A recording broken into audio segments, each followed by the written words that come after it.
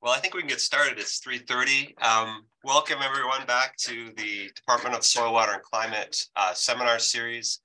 It's my distinct pleasure to introduce Zhongjie Yu, uh, who's an assistant professor uh, in the Department of Natural Resources and Environmental Sciences at the University of Illinois, uh, Urbana-Champaign.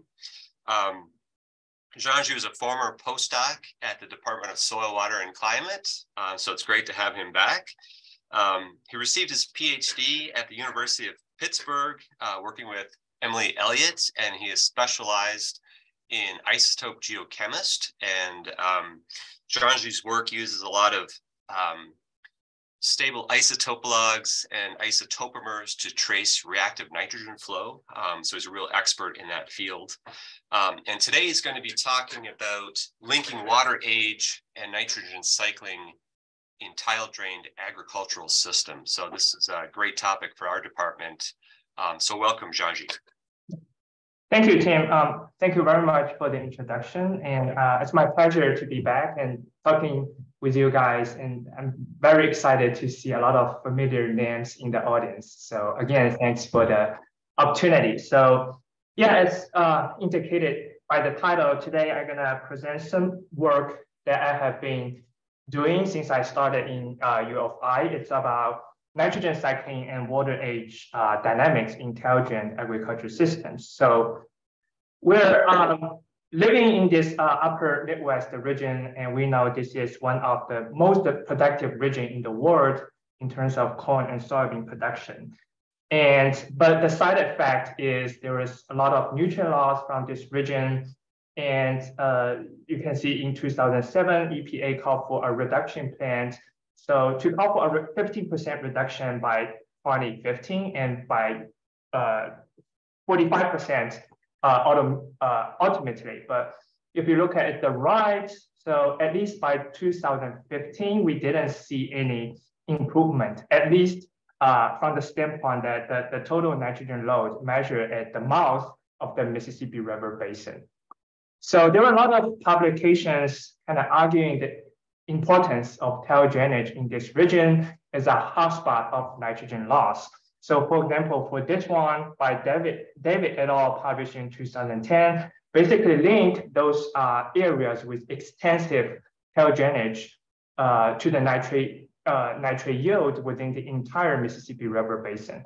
So we know those subsurface tile drainage is one of the reasons why this region has been so productive because it increased soil infiltration rate, helped to uh, create a well aerated and a root zone for crop production. But again, the side effect is it provides a kind of shortcut for the rapid delivery of water and nutrients from surface soil horizons directly to surface waters. There are a lot of kind of uh, practices, money, and uh, have been invent, uh, invested, devoted to reduce nutrient loss from tile drained field. And I believe uh, we're all familiar with this one right here, the 4R kind of strategy. So it's really about a strategy to take better care of fertilizer management to try to reduce the loss. But what I show right here is a recent kind of synthesized study led by uh, Chris, Ten Christianson. So this is published in 2015. Basically, these authors gathered, uh, I believe, thousands uh, site years of data from drained field and tried to detect any kind of significant impact of 4R on tile drainage uh, nutrient loss.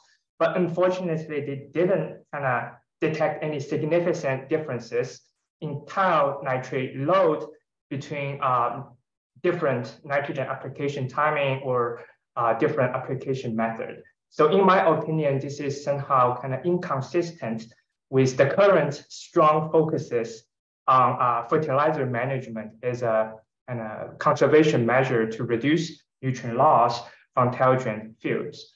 So actually one of those potential explanations for the lack of significant improvement, either at small scale or at bigger scale is the presence of a large um, legacy store. I'm not quite sure if um, everybody familiar with this paper, but it is a recent paper published in 2017 in science. So this basically group of author, uh, authors basically argue that there is a large or huge um, storage reservoir present, present somewhere in this uh, Mississippi River basin. So the presence of this legacy uh, store really kind of mask any improvement or management effect on the total nitrogen load from the basin. So this idea is illustrated in this figure right here. So um, this basically is a breakdown of the total nitrogen based on their age. If you look at this 2020, year 2020, so according to these authors, about 30 to 40% of total nitrogen measured at the mouth of Mississippi River Basin was dated 30 years ago. That's the nitrogen coming into this system 30 years ago. So that really presents a huge legacy effect. And they also went on to conclude that if we stop all the agricultural activity today, the water quality impact will, will last for decades to come. So these authors also divide two different types of legacy stores. One is biogeochemical, the other is hydrological. So according to their definition, this biogeochemical uh, legacy effect is all about those chronic um, fertilizer input, residue input to the soil system, which has built up a really large organic nitrogen pool, which can be mineralized and released to the environment over long term. The other is hydrological legacy effect, which essentially is those nitrogen stored very deep in the subsurface, like those in really deep groundwater aquifers, because the turnover rate in those deep aquifers is slow. So that means the transport is slow and the nitrogen stored there can have a long lasting impact uh, for surface water quality. So like I said, this study really sparked a lot of ongoing discussion, debate about this legacy store. But as I know, one critic about this study is, is that these authors did not specifically consider the impact of tile-drained watersheds. We know the installation of those subsurface drains, tile drains, have altered the hydrology and biogeochemistry of this system, but we really don't know what kind of impact they provide for this nutrient loss and dynamics at large scale.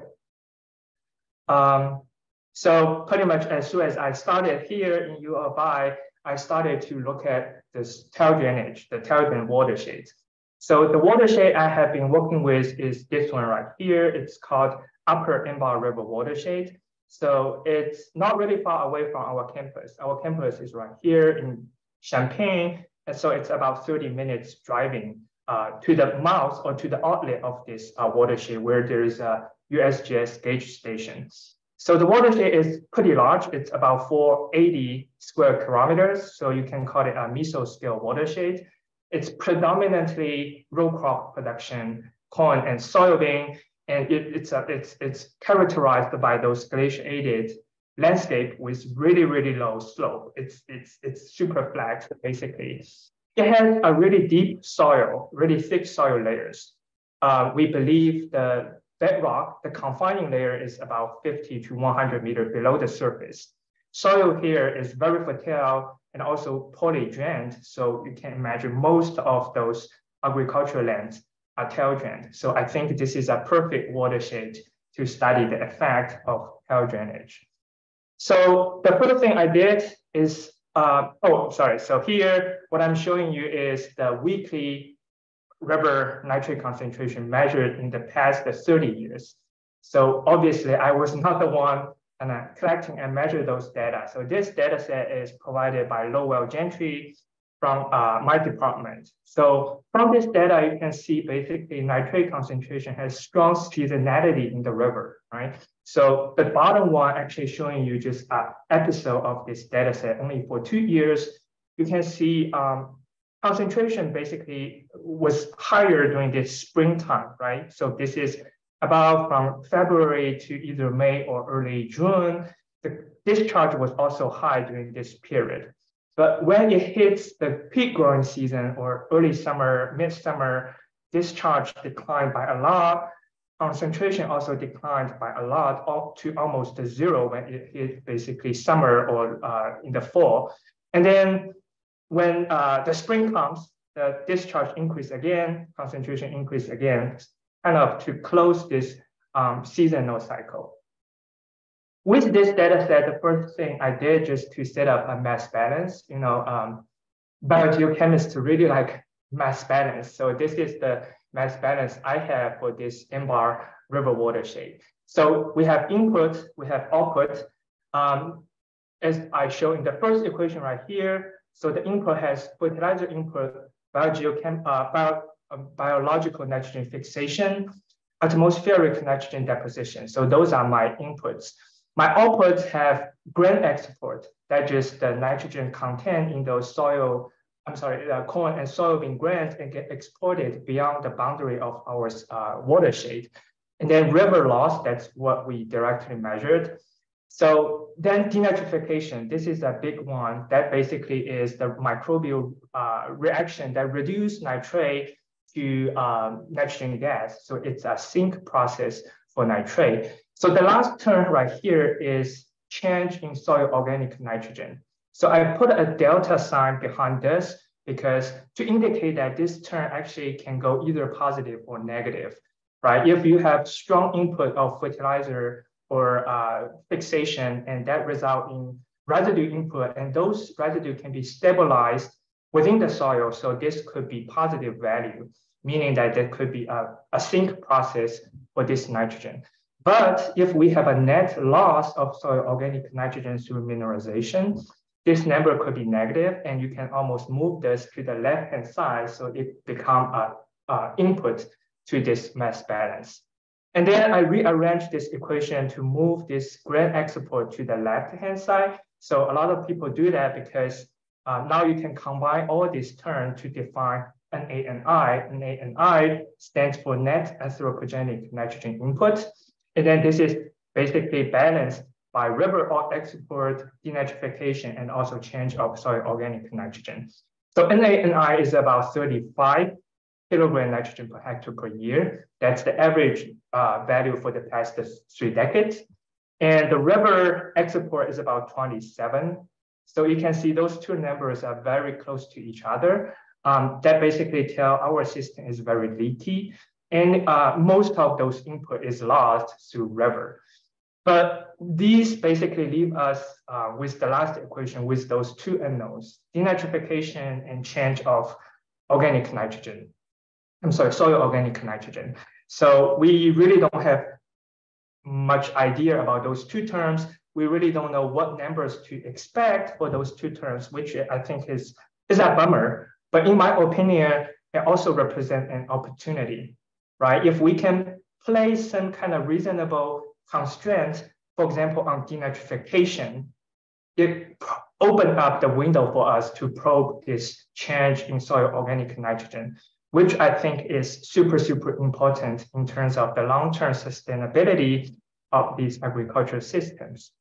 So the approach we took to basically gain a better understanding of denitrification is uh, through the use of natural abundance nitrate isotopes. So isotopes basically are chemical variants of the same element. So for nitrogen, there are two stable isotopes.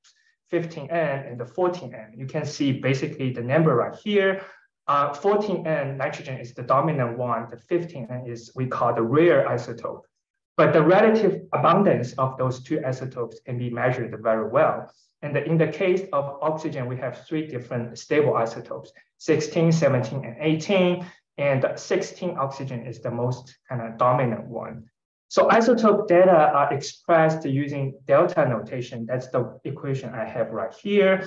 So basically, they are relative measure of those uh, percentage of heavier isotope or rare isotope in your sample. Basically, it tells you uh, the relative percentage of the heavier isotope in your sample compared to some kind of universal standards. So in case of nitrogen, that's a nitrogen gas in the atmosphere. And in terms of oxygen, that's the oxygen in the standard ocean water. So this delta value can be either positive and negative. Positive values means your sample contain more heavier isotope compared to the standard, and negative means the heavier isotope is basically depleted. So nitrate isotopes can be used as a tool to study the nitrate sources and biogeochemical processes acting on nitrate. So this is usually being done using this classic Kendall plot. So it's essentially a biplot of nitrogen, which is the X right here, and oxygen, which is the Y here. So you see a lot of kind of round corner squares here, right, in the, within this plot. Basically, it shows you the isotopic signature for different nitrate sources. So I would like to point out two important sources here. So one is soil ammonium, which is the substrate of mineralization, right? So this for nitrogen, it basically varies between, I would say, three per mil to like eight to nine per mil. So the other important source is ammonia in fertilizer. So you can see it basically uh, have a bigger range, right, from about um, I would say five per mil to like negative 10 per mil. So there is an overlapping between those two sources. But if you see a delta value for delta 15N very negative or close to zero, it has it basically a strong indicator for the uh, fertilizer signal or fertilizer source. Another key feature on this um, plot is those two lines we call denitrification line. So that's essentially because is, is due to the kinetic, we call kinetic isotope effect during this process of denitrification. This is because denitrifying mi microbes um, tend to use those lighter isotopes for this process. As a result, a lot of heavier isotopes are accumulated, you can, or you can say enriched in the residual nitrate. So when a system has strong denitrification, basically this isotope value will rise following a line uh, in this basically Kendall plot. So what I'm showing here basically is our isotope data collected and measured in Embarras River for the last two years. So it's overlapped with uh, concentration data. So the main takeaway here is isotope data follow an opposite, op opposite seasonal trend uh, as concentration. So you can see when concentration is really high, right, that's during the spring, the isotope value is very close to zero to two per mil. And then when concentration it was uh, low and the isotopic uh, value, this is for nitrogen, by the way, it went up by a lot. So the only exception we found uh, is this period. That's the summer and fall of the, of the last year. We know we had a really dry, really fall um, uh, summer and fall last year. And we found that discharge is almost zero in the river. Nitrate concentration was almost zero, and we found pretty scattered isotopic signature during this period. But we, we, we, we uh, interpret this as some localized riparian activities or some activity within the sediment of river channel. So, but we don't really believe those signals are coming from basically uh, watershed scale uh, or uh, it does not represent basically activity operating at watershed scale just because this is a really dry period. Another way to look at this data is just to plot nitrogen with oxygen like the Kendall plot. So here also the color contour tells you the concentration of nitrate.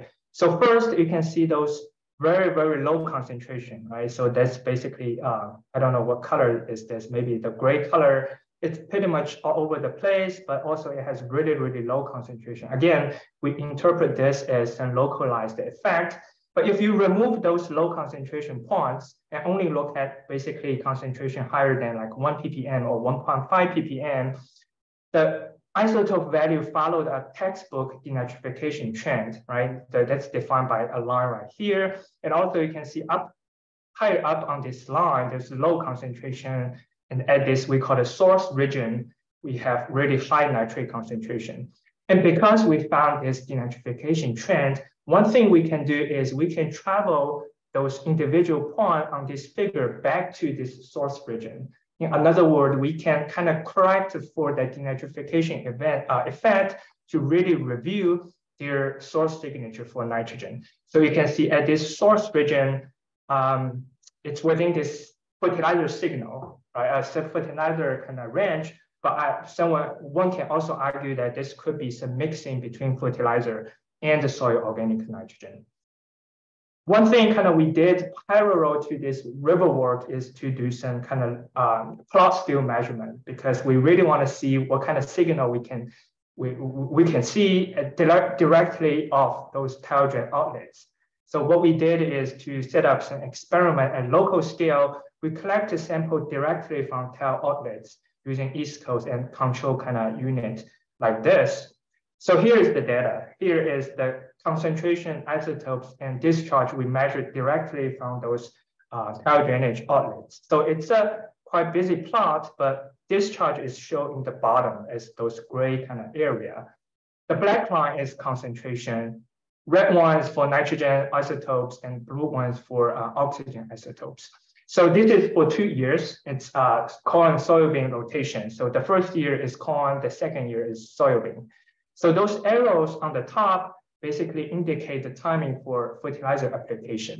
So one thing we can tell uh, directly from this plot is concentration went up kind of dramatically after the fertilizer input, right? So, but corresponding to that, we found really, really kind of low values. For example, for delta N15, it went down to negative five mil. We never seen any negative that value that negative in the river, but um, this kind of makes sense because this is a localized study. So it's supposed to receive more impact from fertilizer input. Another feature here, kind of interesting us is if you look at the non-growing season of corn, right? That's the period before the fertilizer input and also the soybean year, the concentration is kind of stable. It didn't vary too much, right? But if you look at isotopes, it's very flashy. I was uh, very flashy, very responsive to those flow events. Usually we found lower, low isotope values during those peak flow conditions. Just like uh, we did for river, we plot oxygen with nitrogen on this Kendall plot.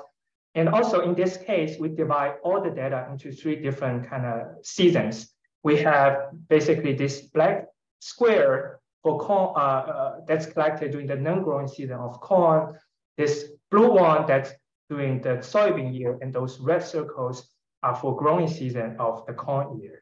So the main takeaway here is if you just look at the non-growing season of corn and also the soybean, they kind of clustered along a denitrification line, although I would say it's more kind of scattered compared to the river case. But another kind of feature right here is just you see a, a lot a lot more variable kind of signature during those corn growing season, right? And also the delta value, especially for nitrogen, get lowered by a lot uh, during this season due to the fertilizer input. So you can do the same thing like we did for the river, just to travel each dot, each, each kind of data point back to their source region. So in this case, the delta N15 for this reconstructed source signature is about positive five per mil to negative five per mil. And I have two basic arrows right here.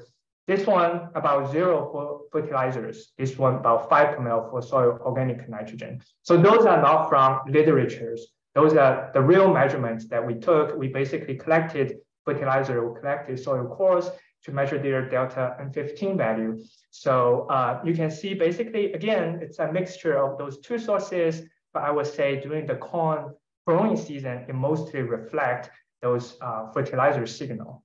So that's pretty much um, all we have in terms of isotopes um, I feel that we uh, it, it's kind of very helpful for us to really figure out those kind of different sources, denitrification, and its uh, significance. We, what we what we can tell is we have significant denitrification in our system, and also it's persistent. We always see that no matter when to collect a sample, but that's not enough. So particularly, uh, we don't know how this concentration measurement or isotope measurement can be placed into the context of hydrology, right? That's important. We want to know actually what flow paths contributing to those signal, signals or how uh, nitrogen biogeochemistry vary with hydrological kind of status of the system.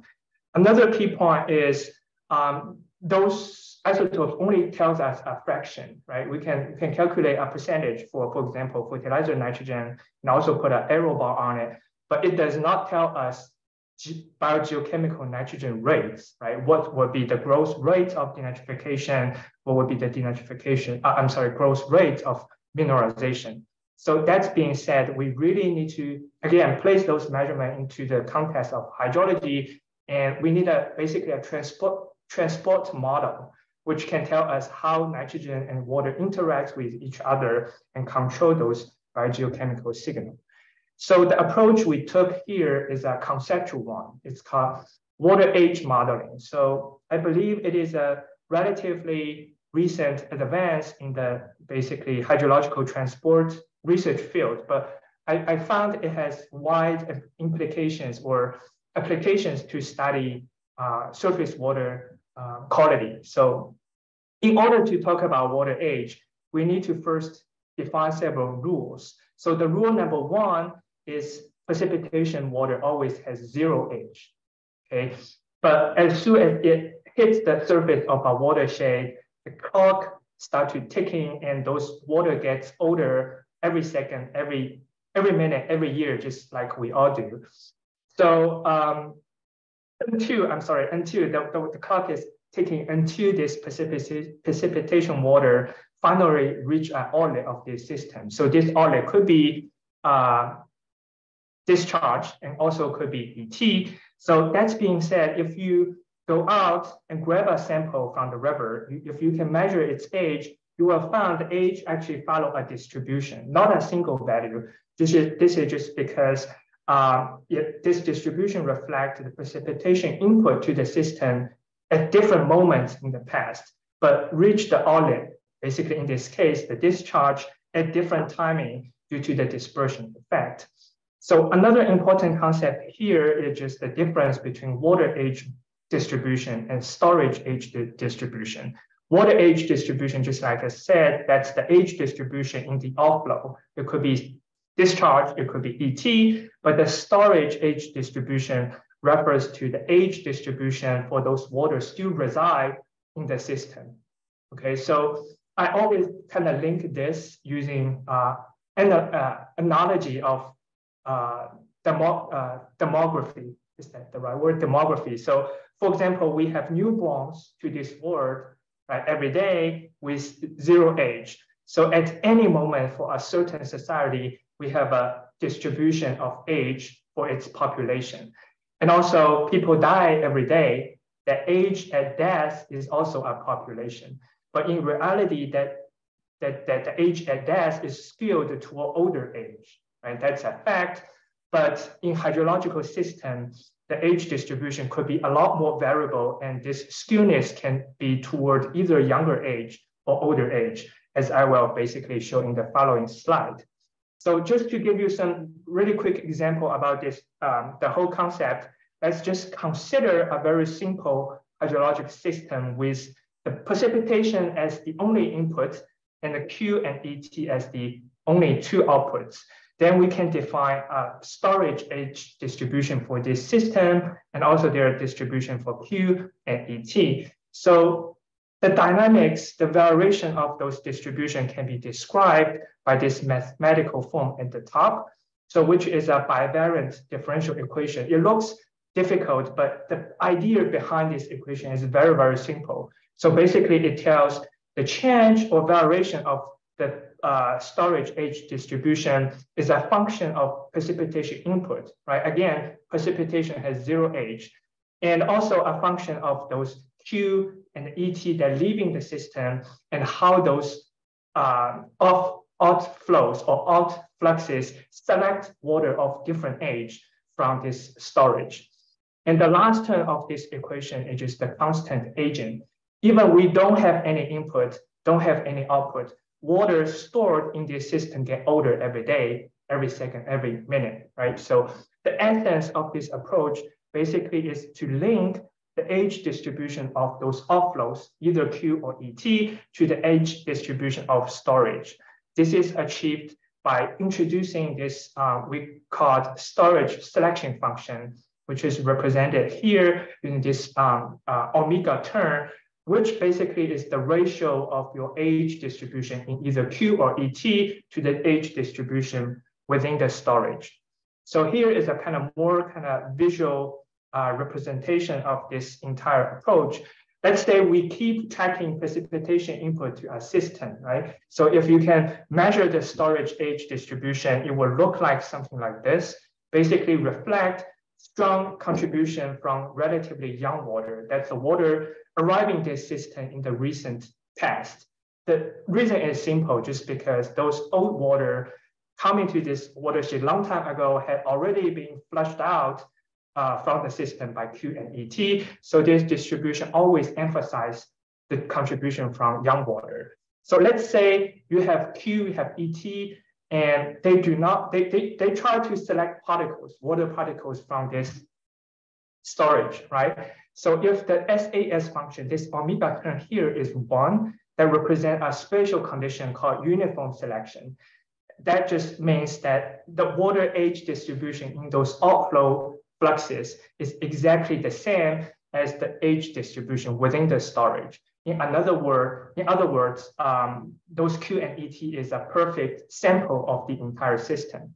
So you can look this into a cumulative way, right? So this is a cumulative um, distribution from zero to one. You see, basically you have, in this case, you have a strong contribution from uh, young water because the slope kind of rising up pretty fast at this young water age, uh, kind of young water range. Of course, you can have biased selection, right? So for example, the red line right here showing you some young water pre uh, preference, meaning that the Q is preferentially select young water from the storage. And this is above this black line right here, which is for the storage.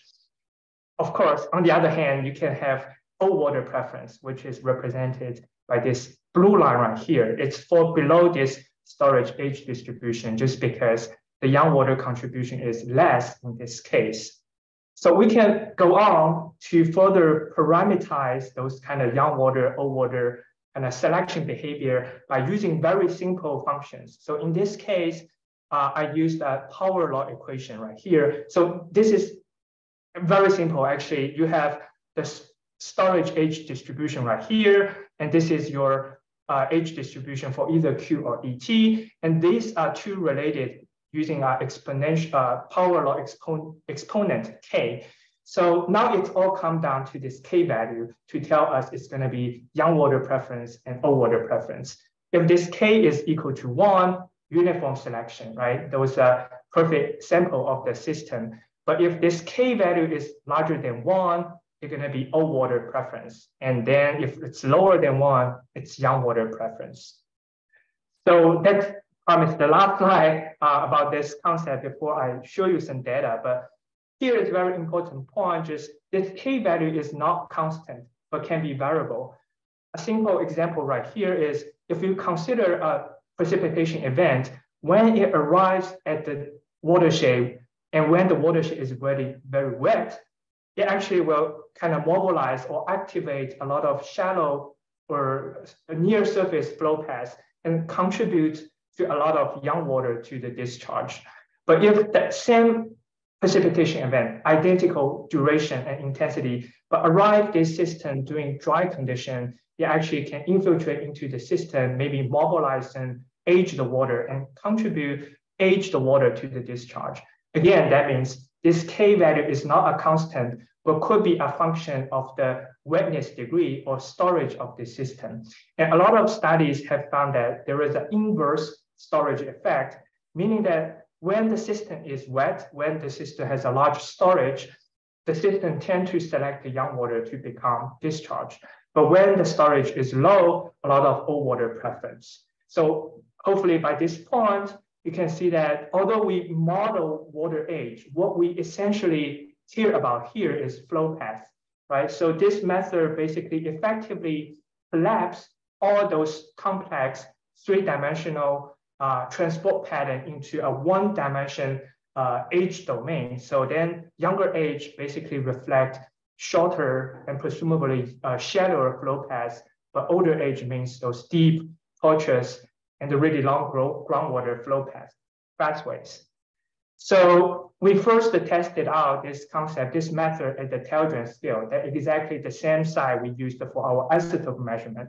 So one thing clear is we cannot really re any idea about water age from water quantity measurement, right? The discharge not going to tell you anything about water age, but it has to come from some measurements of reactive, uh, I'm sorry, conservative tracers, like passive tracers, for example, like chloride and um, water isotopes. So in our case, we have a very unique chloride data set available for this purpose. So you can see this is the chloride data we collected in the past seven years.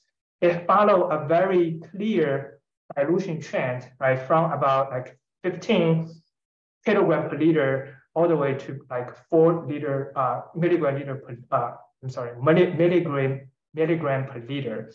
And then it went up significantly right after a potash application. That made us realize that those high initial chloride concentration was due to some historical, not I won't say historical, past potash application to this system, for which we really don't know when that happened or how much was applied. But one thing clear is it has been go through this continuous dilution because chloride has zero kind of concentration in precip precipitation water. So that precipitation water keep kind of flashing the system and cause this dilution trend. Another key feature I want to point out here is you see actually closely, there were a lot of short-term variations in this chloride data set. And especially every time we have a precipitation event, a high flow event, concentration went down by a lot. That seems to tell us there were a lot of young water or even event water kind of contributing to tile drainage at those um, during that period. So basically, we used this chloride concentration as constraint to calibrate our SAS function. And what I show on the left is the basically schematic for this model. We consider drainage, we consider ET, we also consider some deep uh, percolation and exfiltration of groundwater. So the way to do it is we assign a SAS function to each of those flow um, terms to study their selection behavior. So here, I basically um, skipped all those details about model and showing you directly the calibration result. A lot of things can be talked about here, but I just want to draw your attention to the to the uh, most left, the leftmost two panels. The upper one is the calibrated result of the uh, K-value for discharge. That's the behavioral um, parameter distribution for the K2. We have two values here, one for the wettest condition and the other for the driest condition. So you can see during the wettest condition, this K value very, very close to zero, meaning that it has strong young water preference.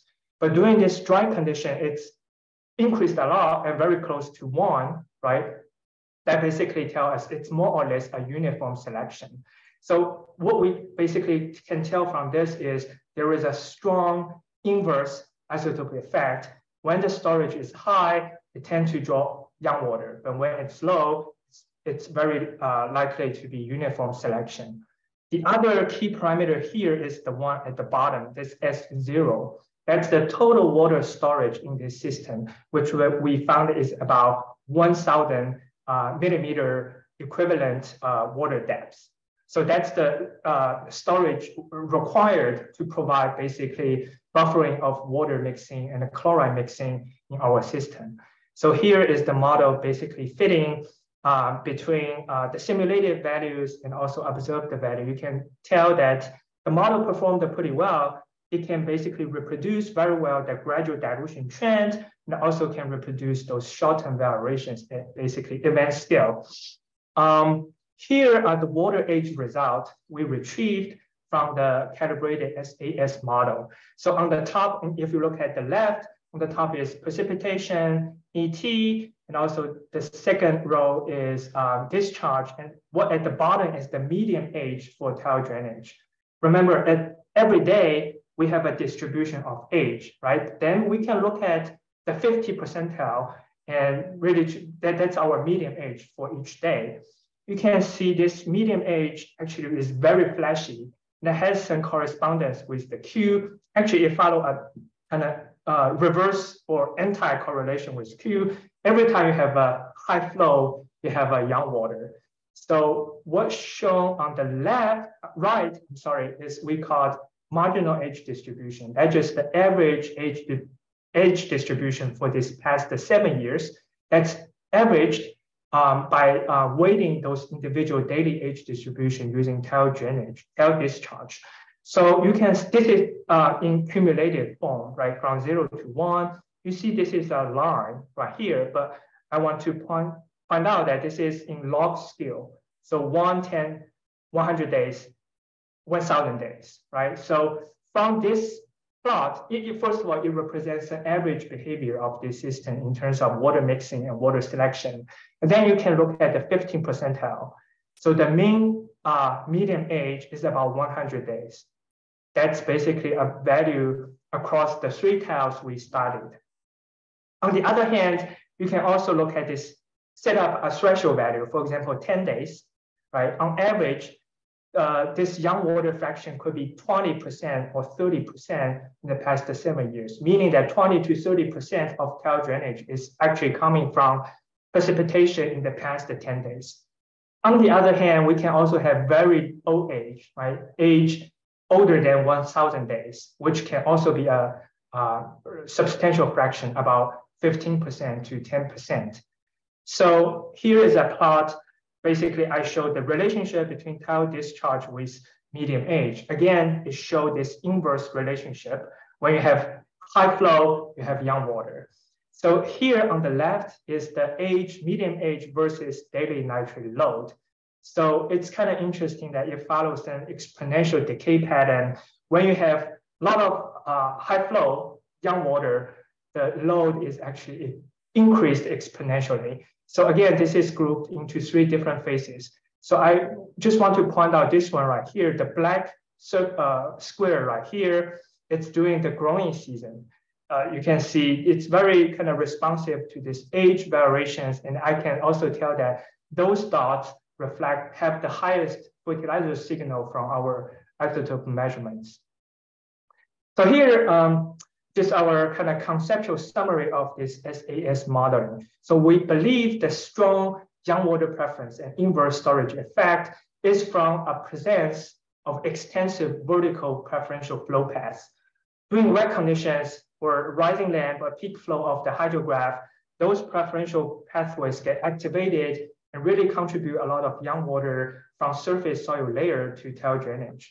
But during this recession period, um, those young waters kind of retained in the surface layer, and only those deep kind of uh, longer and deeper flow paths remain connected with tile and contributing kind of old water to tile discharge. Remember, the storage was estimated to be about 1,000 millimeter in our system. Assuming a typical porosity of 0.3 to 0.7, um, this means that actually the storage can be as deep as three meter from the surface. And our tile line is only 1.1 to 1.2 to 1.5. That basically means there is large storage actually below the tile lines that can still contribute solute and water to tile drainage. And this storage has really kind of slow um, hydrological turnover, turnover rate. So we can almost think it as a legacy store or passive store in this case. Here is what um, we try to kind of link isotope results with this water age result. So we basically calculated, we call denitrification fraction. So I don't really think I have time to go through the details about this um, calculation, but it basically is the idea that following the denitrification line, higher up on that line, uh, more denitrification the sample had gone through. So correspondingly, you will have a higher denitrification fraction. So we found denitrification has a positive correlation with median age at the tile drain scale. This is still at the tile drain scale. So this kind of makes sense, right? So if you have long water age, those nitrate has longer contact time with organic matter, with soil microbes. So there's higher chance the nitrate get denitrified.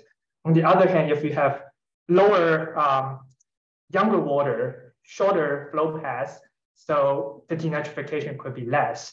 So this basically, this correlation really tell that there is a inherent linkage between water age or water travel time with the reaction time scale of denitrification.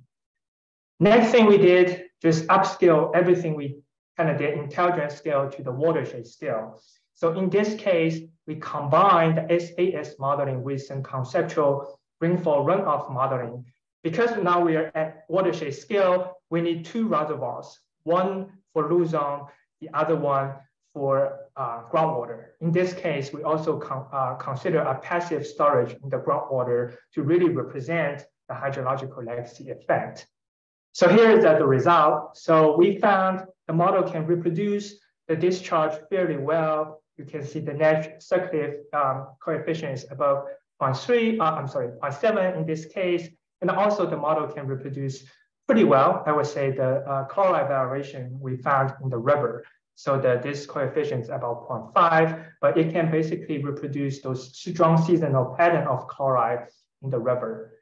So here's the water age result from the uh, calibrated SAS model. So on the top is the median age during the past 30 years. And the, at the bottom is we call young water fraction. That's the fraction of water coming in the past 90 days in the river water. So I, kind of find this interesting because when I was at uh, SWAC working with Tim, I heard him talking about this 2012 drought a lot of times. So you can see from this retrieved water age, actually it has a really broad peak, basically during the summer of 2012, I believe due to the drought stress in this region. So another thing is it has a flat top. This peak has a flat top. Um, this is basically because we lumped or we grouped all those water older than 10 years into this 10 year pool. So that actually means water can get much older during that time period, during the drought.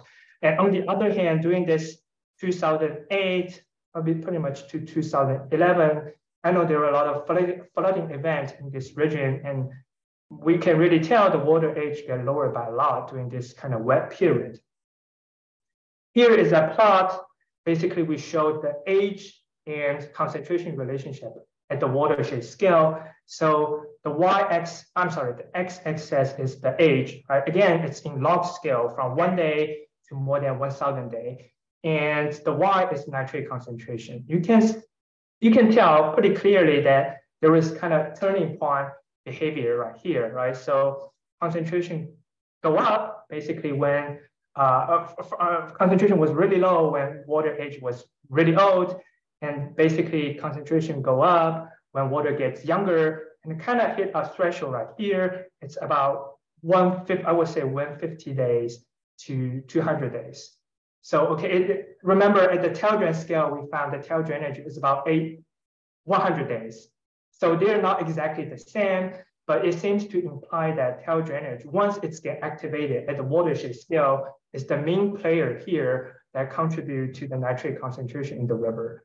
It's also interesting that when we exceed that threshold, concentration went down by a lot. We don't really know exactly why causing this decline trend, but possible reasons could be overland flow or could be uh, extensive preferential flow that caused some dilution or caused some kind of um, source limitation when this uh, the, entire system really gets wet up and flow was really, really high.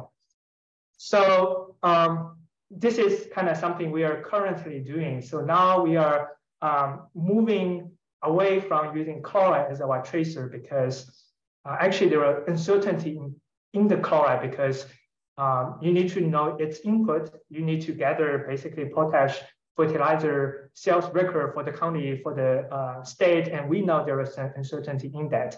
But in this case, we start to use water isotopes as our tracer to study the SAS or uh, the water mixing or selection behavior. So in this case, we have an ISCO at the audit of our system, collecting samples at daily scale. So every day we collect a sample and measure its water isotopes. So you can see this is preliminary. preliminary. We only started in the spring of last year. And also, like I said, we had a really dry summer and fall. So I don't really know what we too much can be tell from this figure right here. But you can almost see that when the discharge went down, this is the oxygen isotope of water. It went up, seems to tell that there is switching or, um, I don't know, uh, different flow paths contributing to discharge during this period. And interestingly, you can see those kind of little bumps right, along around this course. So that corresponds to precipitation event very well. Every time we have a, had event, we see a little bump or deviation from the baseline that seems to suggest young water contribution to um, discharge, uh, even during this very dry period. So we now also have high frequency uh, nitrate concentration at the um, at the outlet. So that gives us 15 minute um, nitrate concentration data. So uh, we expect they're gonna tell us a lot about dynamics for age or nitrogen concentration at those uh, short time scale, like event scale. That's pretty much uh, what I wanna show and share for today. Um, I think uh, what we have been doing kind of only scratch the surface here, maybe maybe less than scratching the surface. So what we actually plan to do in the next is really to integrate those isotopes with this uh, water transport and mixing modeling. So to, to, to make the model not only able to select water, but also able to select nitrogen. So this can be achieved by de design or designate the entire soil uh, reservoir or Luzon reservoir into two different phases, one for immobile phase, the other for mobile phase. So water selection basically occur in this mobile phase, but we can model a lot of geochemical cycling of nitrogen within this immobile phase, and there can be exchange of nitrogen and water between those two phases. Very importantly, all those nitrogen processes I shown right here has been characterized, has been quantified for their either nitrogen or oxygen isotope effect. That means we can not only model the concentration, but also can model the isotopic signature resulting from those processes. So eventually this our vision is not only select water, but also select concentration and their isotopes. Hopefully they can provide a lot more constraint to us to better constrain the mass balance the nitrogen, uh, the denitrification, and ultimately the change of soil organic nitrogen in our system. So just to sum up, um, we found um, nitrogen in river water tile drainage is sourced from both current year fertilizer and also mineralization of soil organic matter. We found water mixing and selection behavior in tile drain system can be characterized by a strong young water preference and also a um, inverse storage effect that seems to apply, imply that the hydrological legacy effect is very minor uh, in our system. And finally, we found combining this isotope measurement with water age modeling has the potential basically to unravel complex hydrobiogeochemical mechanisms, um, maybe ultimately contribute to a unified theory for modeling coupled water and solute in hydrological systems. So with that, I would like to thank um, my postdoc, my students. Um, they basically did all the hard work. And I would like to thank Lowell Gentry, Corey Mitchell from my department to provide those tile drainage and long-term river data. So um, funding for this work is mainly from the Illinois Nutrient Research and Education Council, some um, Hatch funds of USDA, and also the startup fund provided by my college and my department. So thank you everybody for your attention. And I'm just happy to answer any questions you may have. Thanks so much, Zhongjie. Thanks a lot. Um, I'll open it up to questions. Tim, I got a question for Zhongjie. Oh, go ahead, Satish a very nice presentation. Uh, really enjoyed it. And some of your work kind of matches with uh, some of the stuff we have done. Uh, if you go back to your slide on concentration versus uh, age. Yeah, right there. So are you basically going back to Van Meter's paper, are you saying that almost all the nitrogen that's going into the river just goes out in 365 days? Uh, uh, I'm sorry, can you say it again? I'm sorry. Okay. You're saying right here, 150 days or 196 days, you had some, uh, the most of the nitrogen that is going out of the land from the fertilizer or the organic matter mineralization leaves the landscape in less than 365 days. Because Van Meter says it's sitting there for 30 years. And you are not showing it for 30 years. So, so um, here, basically that's the median age for individual water parcel we collected at the outlet. Um, like I said, we looked at water age, but we essentially care about flow path. So one thing I can tell from here is um, we don't really know, for example, this threshold value, right? That's corresponding to 100 or 150 days. So we don't really know what that represents. It could be tile drainage, it could be something else, but our method do not have spatial resolution here. It's essentially a lumped approach. It just tells us that this particular water uh, flow path or a group of flow paths contributed to most nitrogen in the river. So that's basically uh, at the time scale of 150 to 200 days. Um, it also depends on when that flow path get activated. If it's summer, or it may not.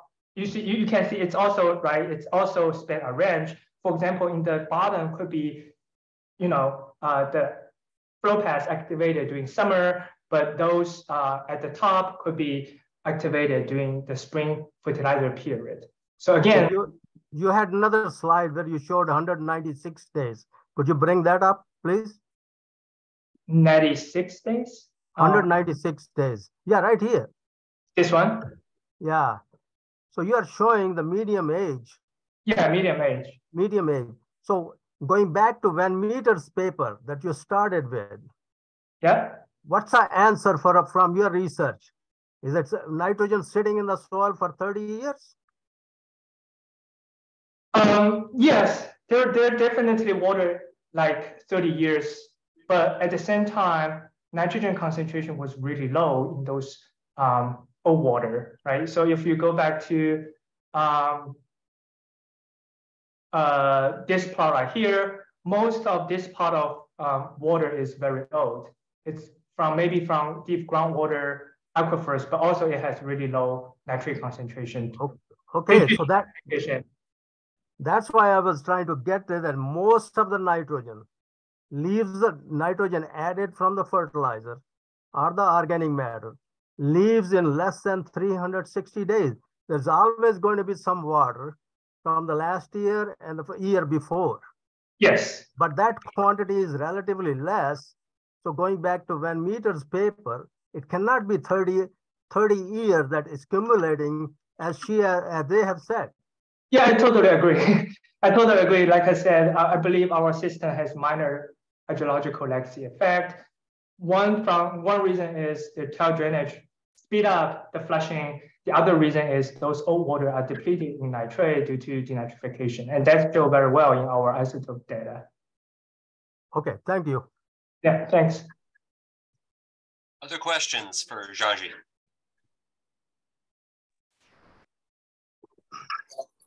question. Uh, nice presentation. Do you are you working mainly in a corn system, or is it a corn soybean system? And if, if you do have soybeans in your system, do you see changes in your signatures when you do that rotation? So I, I, didn't hear the question very well, but I guess it was about crop rotation. If I see any differences between corn and soybean years, is that correct? Yeah. Okay, so uh, I guess um, this is our result. So um, first of all, we, we, we saw high concentration, high load in general during corn years. And we saw fertilizer signals during this year as well. Um, corn bean year, actually corn bean year, so um, I don't really have a plot here. Sometimes it can be, the total load can be higher during corn year.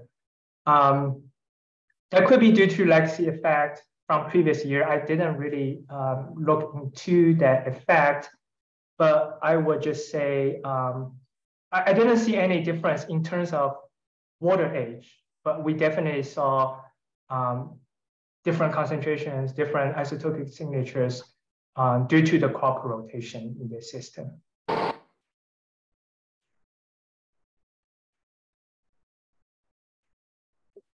Is that the next, what's the next slide? Can you go to the next one? Uh, next one. This one right here. That's okay.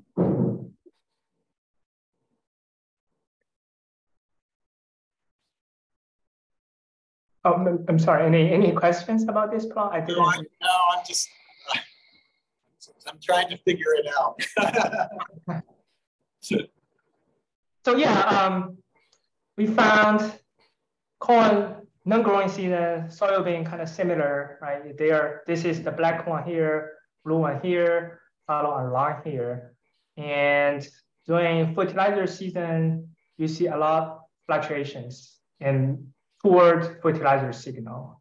And also we know there are higher concentration during this time period as well. So I will interpret this as a mixing of fertilizer nitrogen and um, organic nitrogen. So this actually have a implication for the biogeochemical legacy effect that, Van Meter they talked about, but I just feel it's kind of premature to conclude anything, but at least based on our study, we definitely see signal of nitrogen from current year fertilizers, right? So um, from a management perspective, or, or, this nitrogen is young, you can say it's young nitrogen, right? From a management perspective, we may do a better job to kind of reduce this nitrogen fertilizer. I don't really think we can do much about the lex, biogeochemical legacy effect, but if we can stop or reduce that fertilizer input, um, that may also reduce the total loads.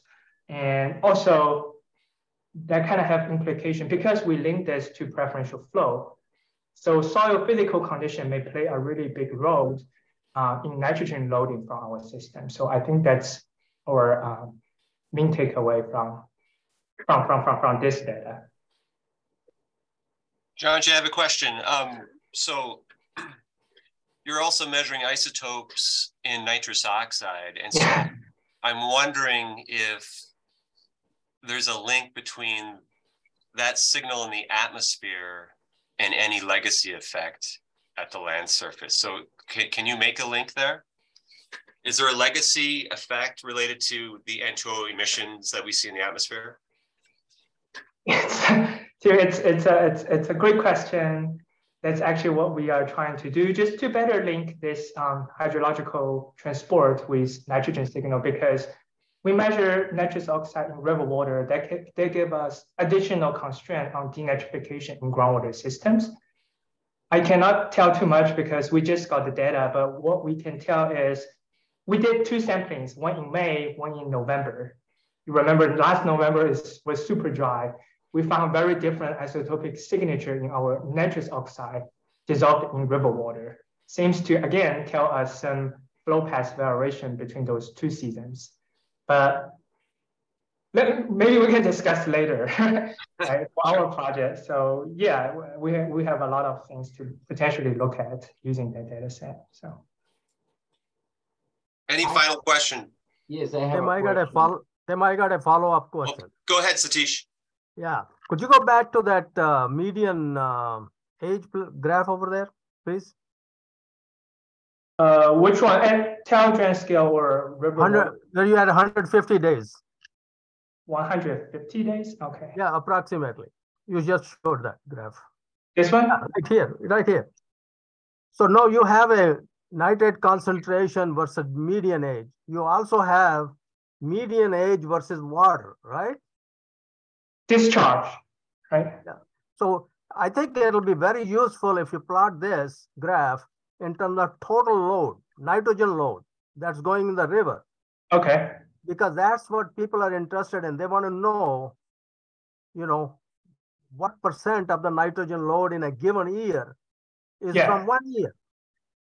So, so if I, I, I haven't done that, but if I would like to speculate, I would say the relationship could be, um, let me see, I'm, trying to draw here. Um, uh, it could be, it could be follow the same pattern because older age usually has lower discharge. And then it goes up like this, and then maybe level off like this, just because okay. although we have lower concentration during this young water, but it also has higher discharge. The load could be kind of stable at this uh, young water end or range, or I, I don't know, the high discharge range. So. Well, I think it goes back to Van Meter's paper that you started with. We got to we we got to have a good handle as to the uh, how much of the nitrogen that's staying in the soil that's coming back, like they're saying 30 years. I don't believe that. Nitrogen cannot stay in the soil for 30 years unless it's converted into organic matter. But overall, our soils have very high organic matter and they're mineralizing. So, so that, that's a question you need to, if you can answer it, that'll be great. Uh, I think based on what we have so far, we cannot answer, but that's what we plan to do by building those biogeochemical processes into the water age model. Up to by that time, hopefully we can have a better answer to the question. So. I, I have a question. Thanks, thanks for the presentation. Thanks for the presentation. Um, you know, I'm quite interested in the um, in the signature from the fertilizer uh, and whether you can separate the um, the effect of you know nitrogen that has been immobilized. Uh, we know from a lot of studies that there is quite a bit of immobilization of uh, fertilizer nitrogen that happens when you have corn residue, especially.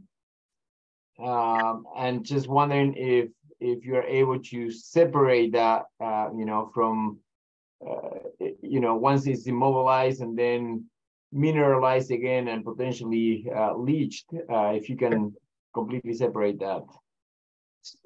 Answer is no. okay. Uh, well, and and and so uh, the reason I'm interested in this is I'm actually doing some N15 work right now. Starting to do some additional work. We started doing some a few years ago, and uh, I'm prepping right now to look at um, not only immobilization but also um, ammonia fixation in in the soil, and hopefully be able to you know trace where the fertilizer is going, you know, how much of it actually ends up in water or N2O or ammonia, but also uh, how much of it ends up actually in the soil. Because we normally talk about, well, if it's no recovery, it's lost, but uh, we don't really know how much of that actually gets, you know, fixed or immobilized. Yes. So, but I assume you use the label tracer approach, right? So, but in this case, this yeah, is, yeah, we, we will be using N15 for that. Yeah, yeah, natural abundance. We can only tell current year fertilizers applied in the current year. So actually this blue arrow right here, soil organic nitrogen, that could be due to fertilizer input in the past year, but just lost its new with a new newest its its signal during those immobilization and uh, mobilization process cycling or processes.